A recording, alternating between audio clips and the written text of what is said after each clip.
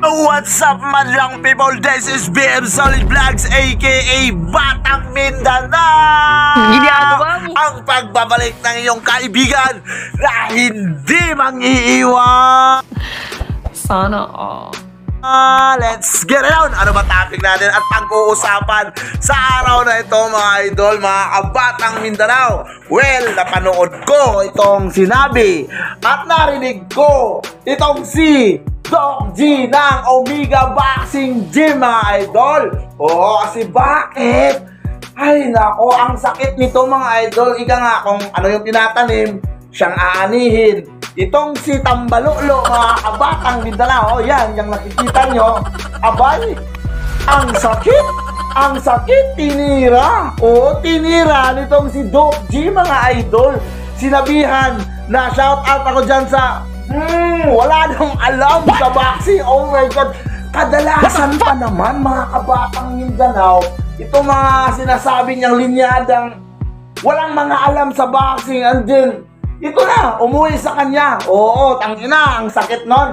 And then, tauhan, tuta lang pala. Mm, grabe mga kabatang Mindanao. Sabit pa si puting itlog dyan. At saka siyempre, asahan natin, rumirisbak at rumirisbak talaga itong si Tambalolo mga idol. At dito mga kabatang Mindanao, Grabe ang nabuo na ano, tension ngayon dito sa social media. Parang nakakahanap na ng katapat itong si Tambalolo. Oo, kasi bakit mga idol? Sa pagkakilala ko kay Doc G, kasi si Doc G, nagkita kami niyan sa ano eh.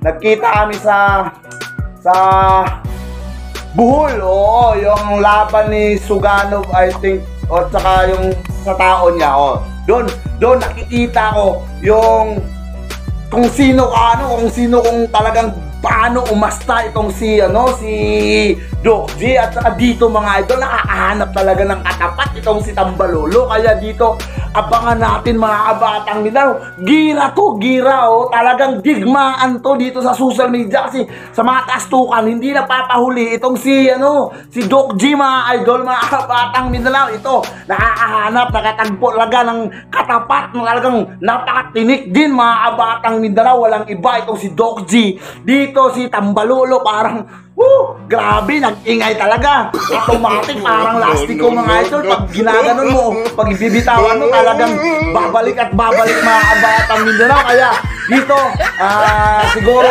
abangan natin kung ano ang mangyayari dito mga kabatang Mindanao. Magiging chismoso muna tayo ngayon, no? Si BN Solid Vlogs. At ako'y maghahatid sa inyo sa mga susunod na video kung ano na, oo, kung saan na patungo ang digmaan na ito.